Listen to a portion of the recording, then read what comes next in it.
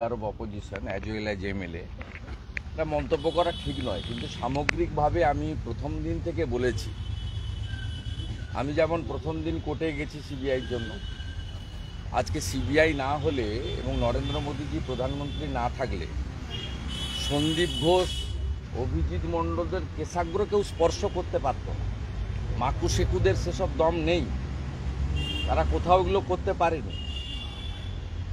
আমি আপনাদের কাছে যেটা বলি, আগামীকাল সুপ্রিম কোর্টে গুরুত্বপূর্ণ হিয়ারিং আছে।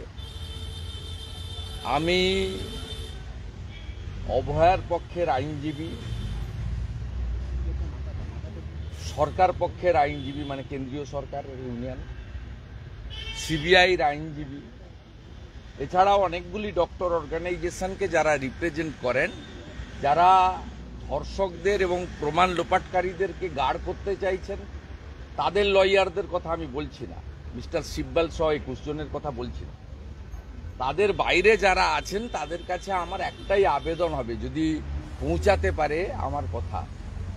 সেটা হলো, মামলাটা পশ্চিমবঙ্গের বাইরে নিয়ে যান। পশ্চিমবঙ্গের বাইরে মামলাটা নিয়ে যান তাহলে সত্য উদ্ঘাটিত হবে। অভয়ার পরিবার শান্তি পাবে। অভয়ার আত্মা বিচার পাবে, শান্তি পাবে। পশ্চিমবাংলার জনগণ তো গোটা ভারতবর্ষের জনগণ।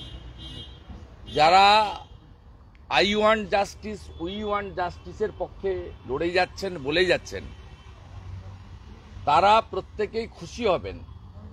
এবং আমি অনুরোধ করব যে সুপ্রিম কোর্ট বিষয়টি বিবেচনা করে পশ্চিমবঙ্গের বাইরে নিয়ে যান। কারণ এই পশ্চিমবঙ্গে ব্যাংক ফ্রডের আসামি ইডি যাকে ধরেছিল, তিনি পনেরো মাসেই এসএসকেএমের উডবান ওয়ার্ডে কাটিয়েছেন। সমস্ত আরাম করেছেন। কালীঘাটের কাকুর ছবি আপনারা দেখিয়েছেন।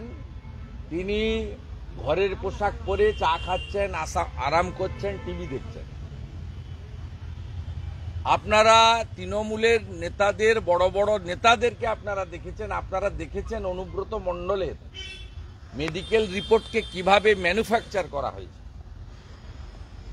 এবং আপনারা নিজেরা যে জানেন যে পার্থ চ্যাটার্জি সহ সমস্ত ভেটারেন চোরেরা, যারা এখনও জেলে আছে, তারা যেদিন যা খেতে চায় সেই খাওয়ার জেল কর্তৃপক্ষ পৌঁছে দেয়।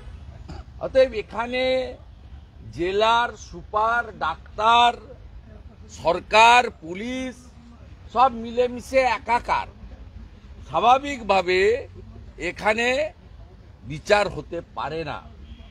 যে প্রশ্নচিহ্ন আজকে অ্যাকিউজ তুলে দিল, এর সমাধান তখনই হতে পারে যদি রাজ্যের বাইরে নিয়ে গিয়ে প্রপারলি ইনভেস্টিগেশন এবং আজকের ঘটনার পরে আবার হেফাজতে নিয়ে তার কাছ থেকে প্রপারলি ইন্টারোগেশন করে সুপ্রিম কোর্টে রিপোর্ট জমা করিয়ে সুপ্রিম কোর্টের মনিটারিংয়ে সিবিআইকে ডাইরেকশন দিয়ে প্রপারলি কিছু করা যায়। বামেরা বলছে যে এই যে ওদের কথা বলে লাভ নেই।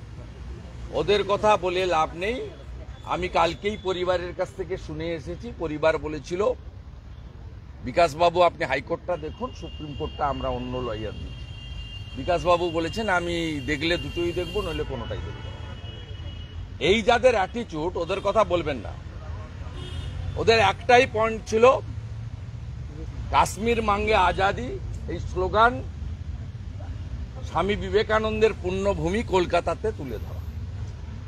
নেতাজি সুভাষচন্দ্র বসু, ডক্টর শ্যামাপ্রসাদ মুখার্জির কর্মভূমিতে যে কর্পোরেশনের মেয়র ছিলেন সিআর দাসের মতো লোকেরা। এখানে